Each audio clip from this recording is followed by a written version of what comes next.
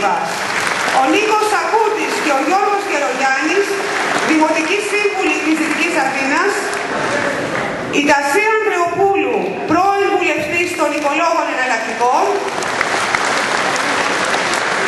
και ο Παναγιώτης Κουρουμπλής, ανεξάρτητος βουλευτής, εκπρόσωπος της Εναλλακτικής Πρωτοβουλίας. Ο Κώστας ο Ασπρογέρακας, Δημοτικός Σύμβουλος Χαϊδαρίου και ο Θοδωρής Κοτσόπουλος, πρώην Δήμαρχος Παλίνης. Η Γιάννα Χριστόγλου, Δημοτική Σύμβουλος Εγάλεο. Ο Κώστας Βλάχος, Δημοτικός Σύμβουλος Περιστερίου και ο Στέφανος Βλάχος, ο πρώην Δήμαρχος της Πετρούπολης. Δίνουμε το λόγο στο φίλο και συναγωνιστή, στον Αλέξη Μητρόπουλο.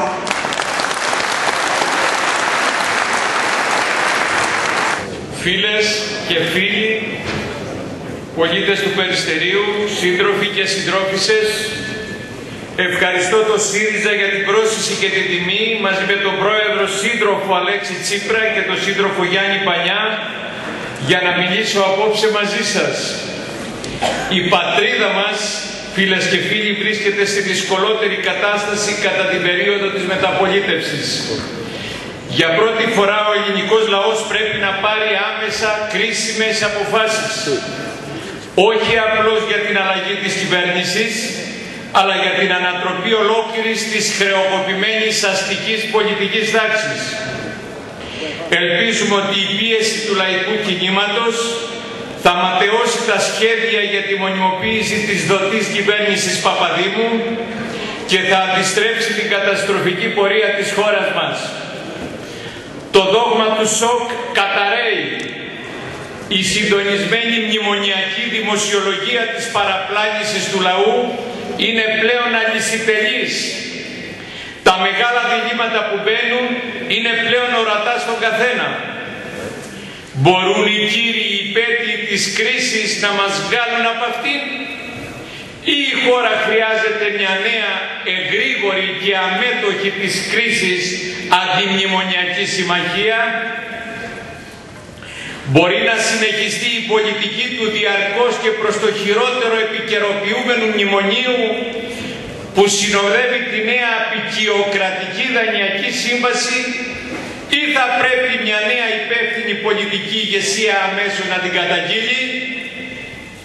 Μπορεί η νεοφιλελεύθερη διευθυντική ομάδα της Ευρωπαϊκής Ένωσης υπό την πίεση και καθοδήγηση της Γερμανίας να επιβάλλει προγράμματα διαρκούς λιτότητας, δραστικών περιοκοπών στις εργατικές αμοιβές και συντάξεις, γενίκευση και απορρίθμιση της αγοράς εργασίας, καταστροφής του μοντέλου πλήρους και ασφαλισμένης απασχόλησης, αποδόμηση του κοινωνικού κράτους, ιδιωτικοποίηση των δημοσίων αγαθών και υπηρεσιών, εκποίηση με διαδικασίες ρευστοποίησης του διαχρονικού άειλου και υλικού πλούτου που μας παρέδωσαν οι αιώνες ή θα πρέπει συντρόφισσες και σύντροφοι να αρνηθούμε με όλα τα μέσα χωρίς αγγυλώσεις, χωρίς δογματισμούς και ευρωνοσιακά αποθυμένα τη γενικευμένη πορεία αλωτρίωσης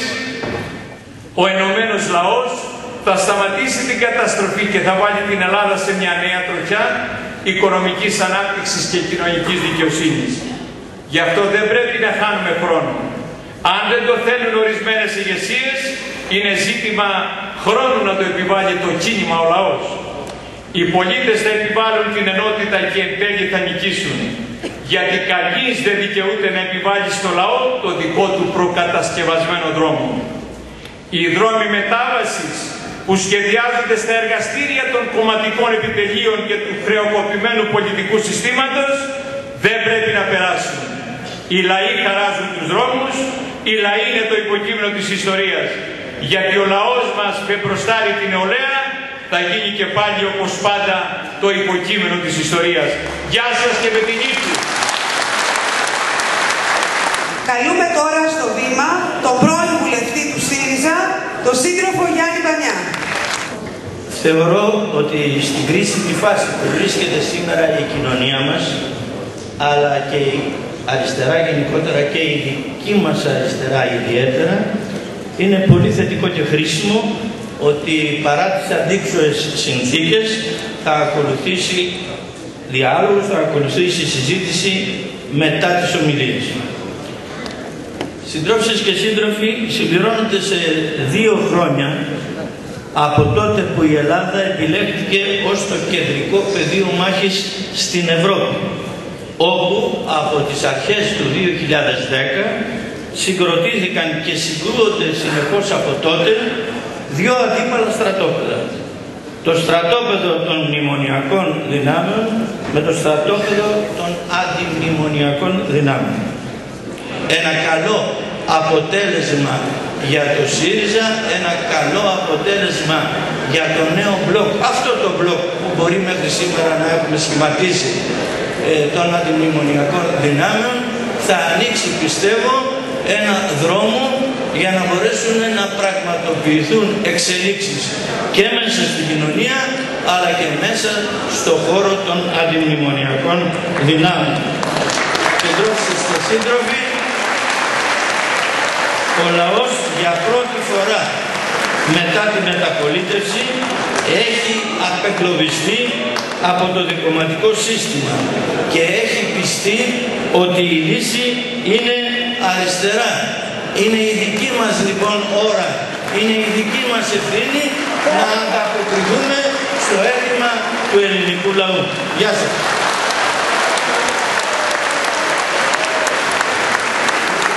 Καλούμε τώρα στο βήμα τον πρόεδρο της κοινοβουλευτικής ομάδας του ΣΥΡΙΖΑ, τον σύντροφο Αλέξη Τσίπρα.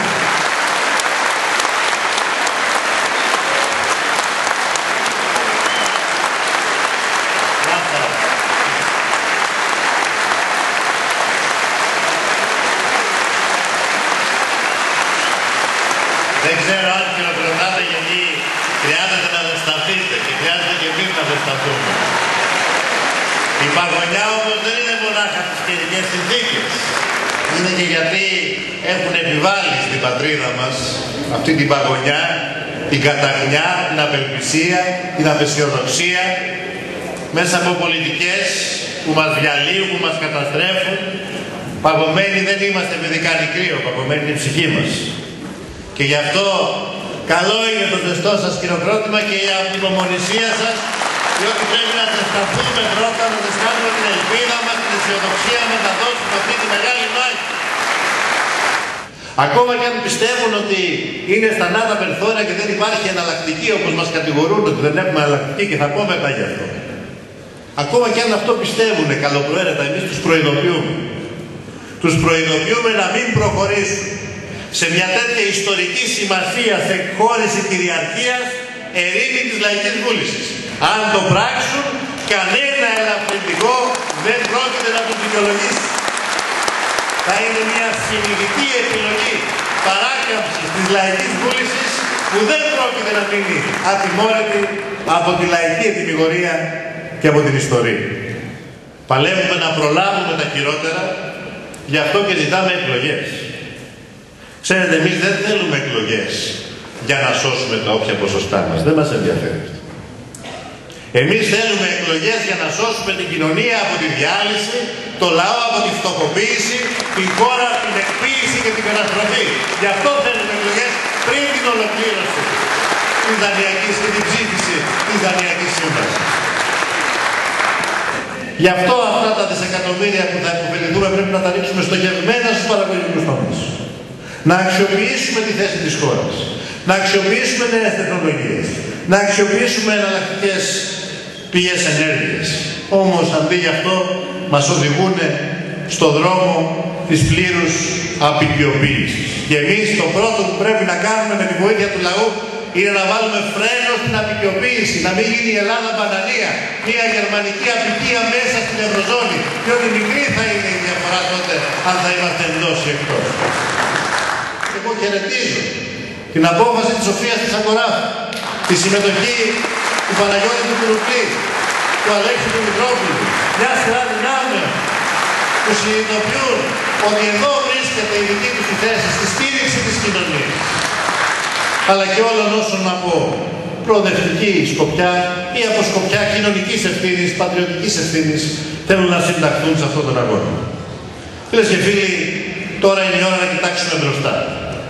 Με πείσμα, με αισιοδοξία, με δράση στην πρώτη γραμμή των κοινωνικών αγώνων να κάνουμε το δικό μας πολιτικό σχέδιο της κοινωνικής χειραφέτησης υπόθεση της μεγάλης κοινωνικής πλειοψηφίας. Η ώρα για την πλατιά συσπήρωση και τη μεγάλη ανθρωπή είναι τώρα. Δεν μπορεί να περιμένει. Και το μέλλον, όπως λέει αυτό το ωραίο σύνθημα, δεν θα έρθει από μόνο του αν δεν πάρουμε μέτρα και εμείς. Να πάρουμε μέτρα και να πρωτοστατήσουμε λοιπόν σε αυτούς τους ενωτικούς αγώνες. Να είστε καλά. Καλή δύναμη. Καλούς αγώνες.